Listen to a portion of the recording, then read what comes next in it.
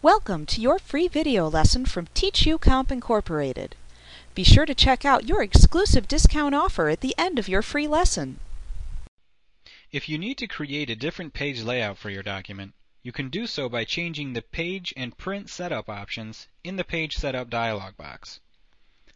To view this dialog box, select File from the menu bar, and then select Page Setup. Notice in the Page Setup dialog box there are two tabs, Layout and Printer and Paper. On the Layout tab, you can select another publication type layout.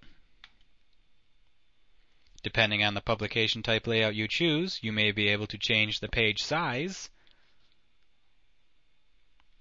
And you should also be able to change the orientation.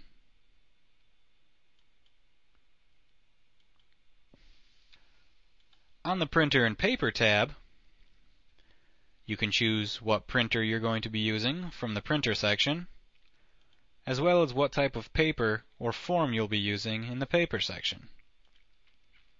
Notice you also have a section to change the orientation on this tab.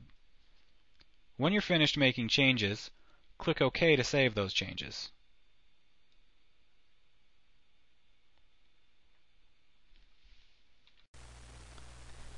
Thank you. We hope you enjoyed your free video lesson from TeachUComp Incorporated. Like what you see? Pick up your copy of our complete tutorial today and be sure to visit us at www.teachucomp.com/youtube for your special bonus offer.